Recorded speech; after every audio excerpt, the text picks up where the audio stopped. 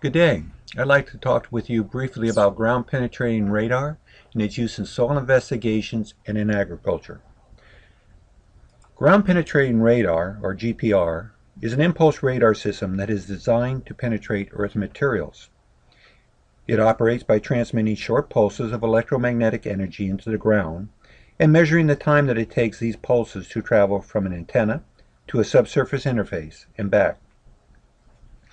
In order to convert this travel time into a depth scale, either the velocity of pulse propagation or the depth to a reflector must be known.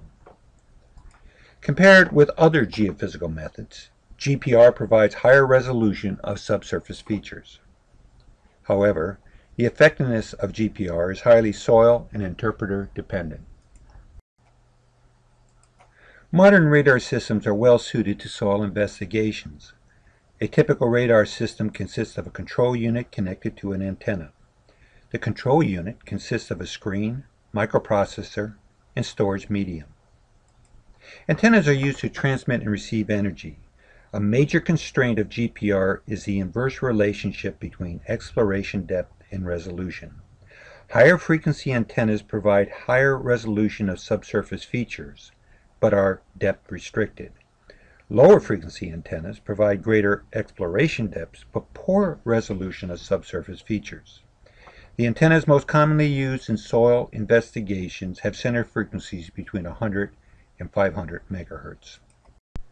The most common mode of GPR data acquisition is the reflection profiling mode, in which the radar waves are transmitted, received, and recorded as the antenna is moved along the soil surface.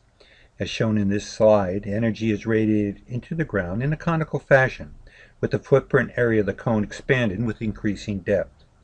Whenever a pulse contacts an interface separating layers with different dielectric permittivities, a portion of the energy is reflected back to the receiving antenna.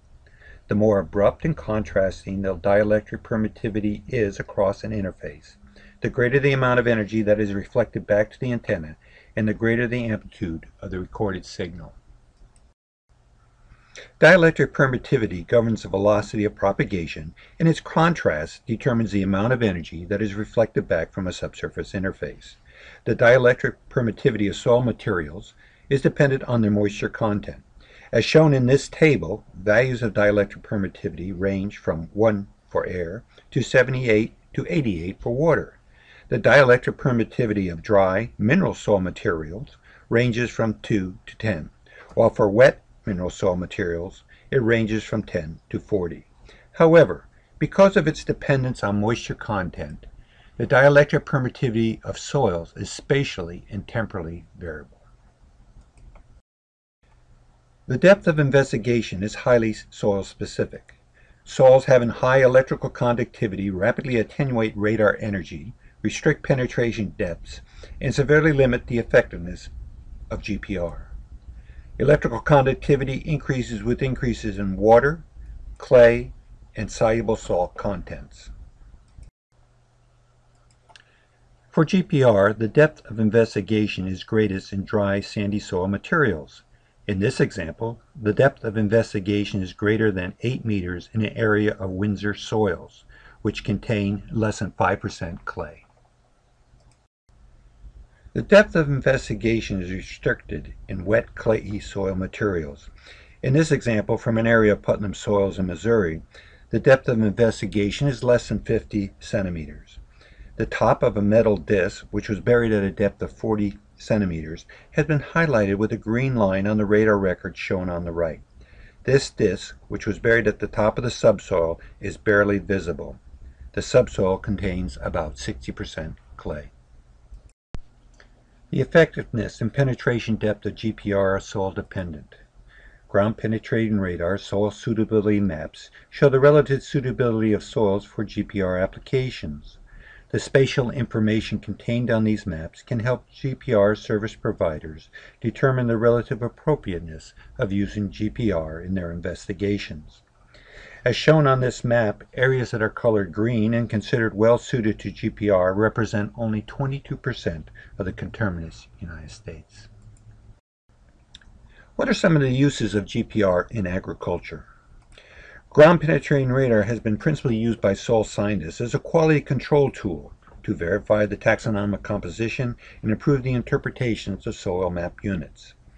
In this application, GPR is used to document the presence, depth, lateral extent, and variability of diagnostic subsurface horizons and features.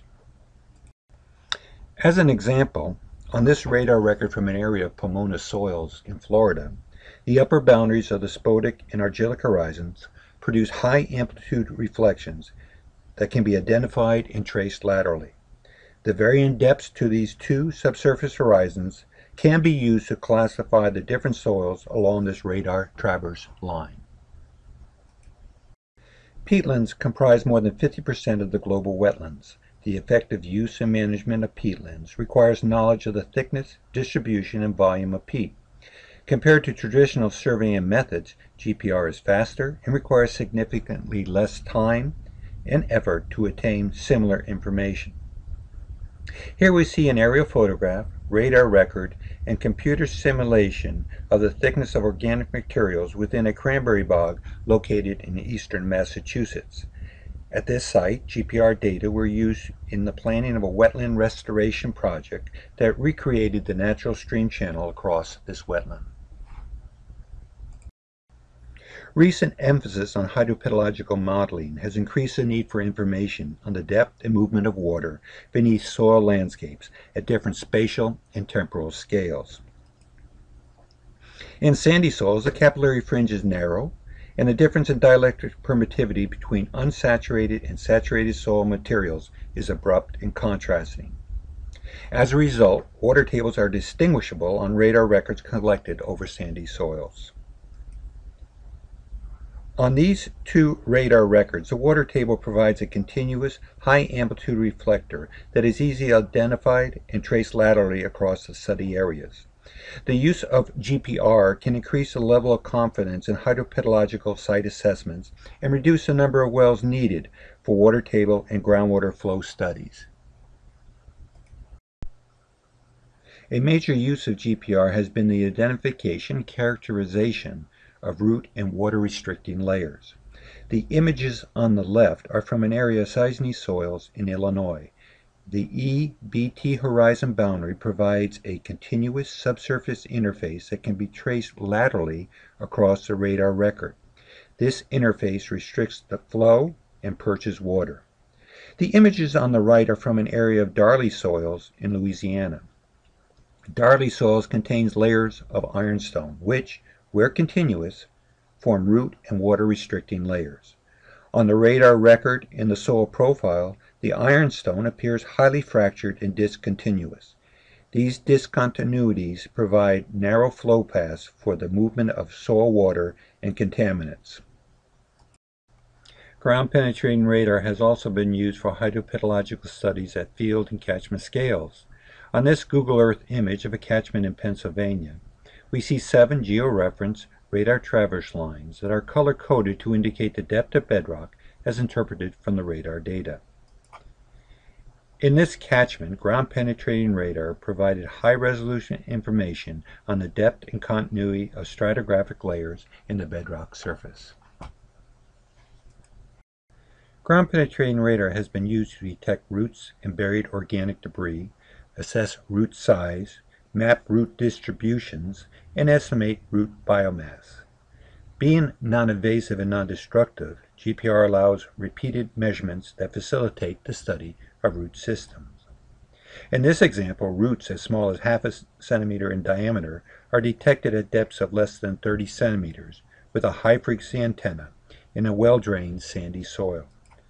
However, root detection is ineffective in soils with high clay, water, and or rock fragment contents.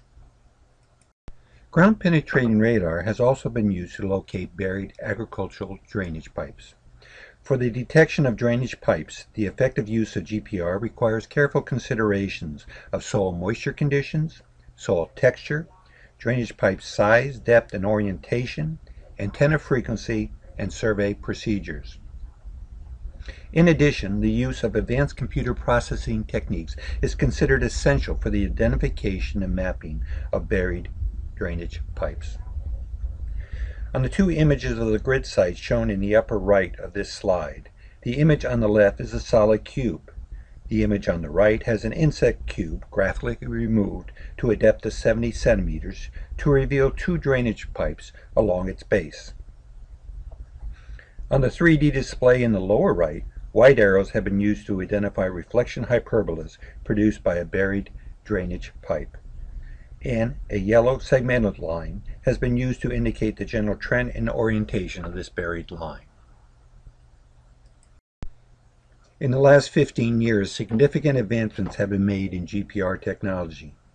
Present systems are well suited to soil studies. These systems provide moderate to high resolution of subsurface features, enable the collection of larger data sets, and provide more comprehensive spatial coverage and therefore greater confidence in site assessments. The future looks bright for the expanded use of GPR in agriculture, soils, and environmental studies.